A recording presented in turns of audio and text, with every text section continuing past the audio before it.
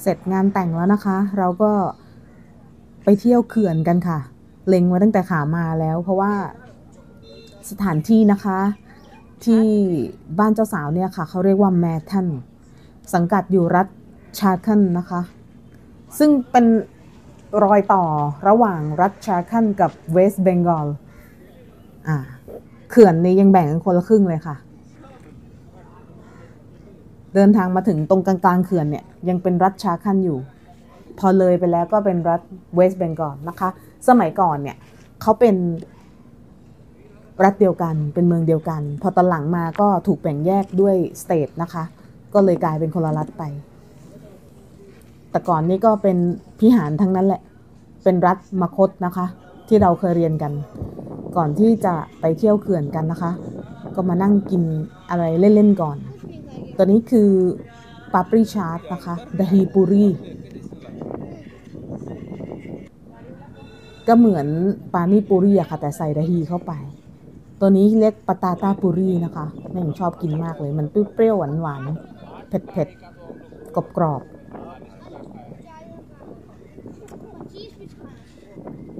ๆกินก่อนเดี๋ยวนั่งเรือไม่ไหว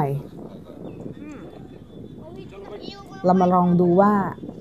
อาหารกินเล่นของรัฐนี้รสชาติเป็นยังไง แต่เท่าที่ดูเนี่ยเขาจะไม่หั่นหัวหอมชิ้นเล็กนะคะ ที่พิหารเนี่ยเขาจะซอยหัวหอมเป็นชิ้นเล็กๆๆๆเกือบเกือบจะสับละ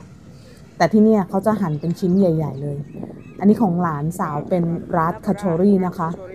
ลูกใหญ่มากหลานบอกกินไม่หมดมหาราชาใหญ่จริงใหญ่จังโอ้ยเพิ่งเคยเห็น Raj Kachori ลูกใหญ่ขนาดนี้ เท่าหน้าเลยอะ ใครจะไปกินหมดปกติเห็นลูกเท่าประมาณอุ้งมือเอง กินเสร็จแล้วเราจะพากันเป็นล่องเรือนะคะ จะมีเรือสองแบบค่ะ เป็นแบบเรือพายกับเรือสปีดโบ๊ทพ่อบ้านบอกว่าเอาเป็นเรือพายแล้วกันสปีดโบ๊ทมันแป๊บเดียว แล้วมันกำลังจะมืดแล้ว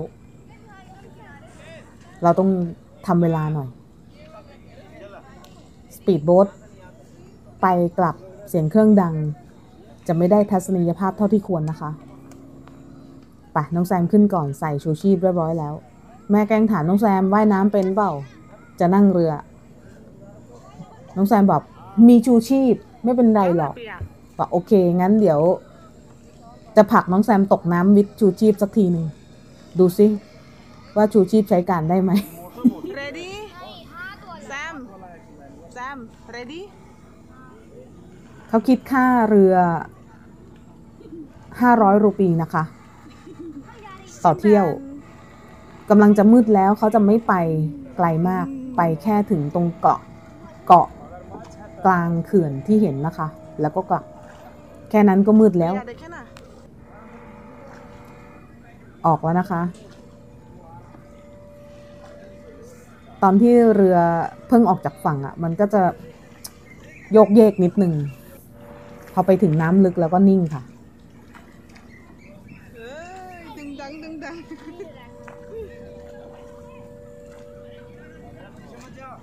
ลมเย็นใช้ได้เลยทั้งทั้งที่อากาศร้อนนะคะบนฝั่งเนี่ยถือว่าอากาศร้อนเลย แต่ว่าในเรือเนี่ย ลมพัดเย็นอยู่ ใช้ฝีพายสองคนนะคะเอรีหนองสิมรันทำหน้าโยกเยก กำลังจะมืดแล้วอะค่ะ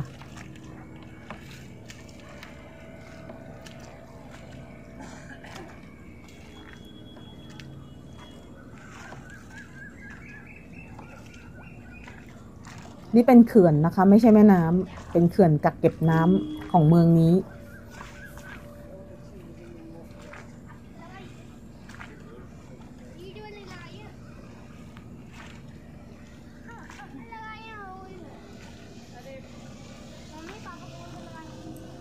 ตรงที่เห็นไกลๆนั่นก็คือประตูเขื่อนนะคะ ตอนนี้เขาปิดค่ะ เดี๋ยวมันจะมีฤดูกาลที่เขาจะต้องเปิดประตูนะคะ เพื่อปล่อยน้ำออกไป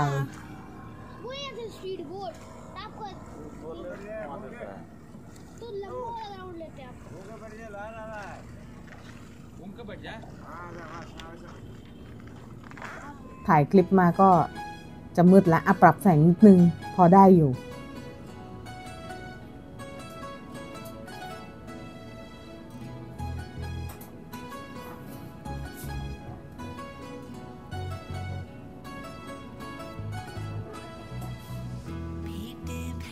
सुनो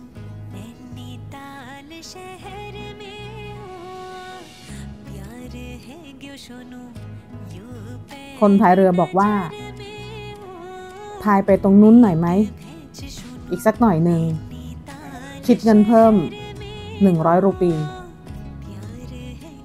อันนี้ก็คือการคอร์รัปชันอย่างหนึ่งนะคะ เพราะว่า ตอนที่เราก่อนที่จะขึ้นเรือ เราจ่ายเงินไปแล้ว ตรงที่ข ายตั๋วนะคะ แล้ว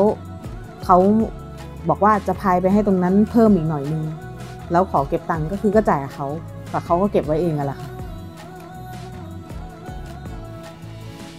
ทางออฟฟิศก็ไม่รู้เรื่องด้วยหรอก เป็นวิธีการหาเงินของคนพายเรือนะคะ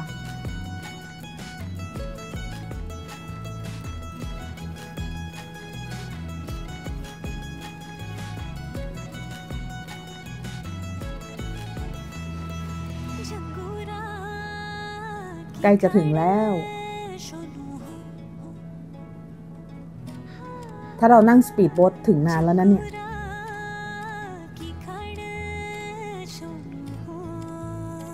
ถ้านั่งสปีดโบ๊ทราคาจะแพงกว่าเท่าตัวนะคะ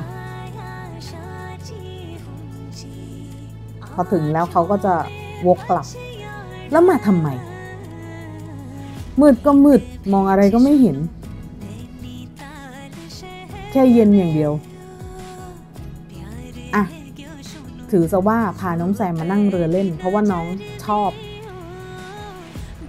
เวนเมื่อไหร่ที่น้องเห็นมีการ มีให้นั่งเรือแล่นเรือนะคะ น้องก็จะบอกว่าแม่หนูขอ นั่งเรือหนูชอบ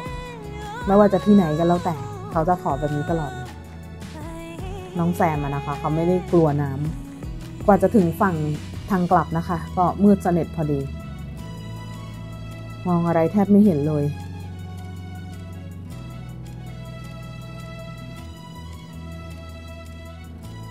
ถึงแล้วมืดแล้วกลับกันค่ะ กลับบ้านนอนพักผ่อนดีกว่า เหนื่อยมาหลายวันแล้วพรุ่งนี้เรากลับกันแล้วนะคะ ระหว่างทางกลับบ้านก็มีเรื่องตื่นเต้นด้วย แล้วจะมาเล่าให้ฟังค่ะ